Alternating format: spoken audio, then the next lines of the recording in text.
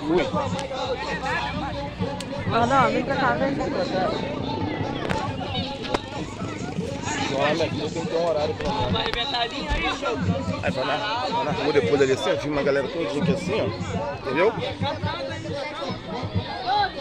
Fica só, cara. Foi na rua, ele vai na rua. Depois. Agora que eu tô aqui, tem que arrumar.